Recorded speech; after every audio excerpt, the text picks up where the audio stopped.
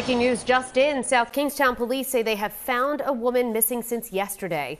Police say Elaine Sampson was found in back of a nursing home and is in good health. We're working to gather more information and we'll bring you an update as soon as we learn it.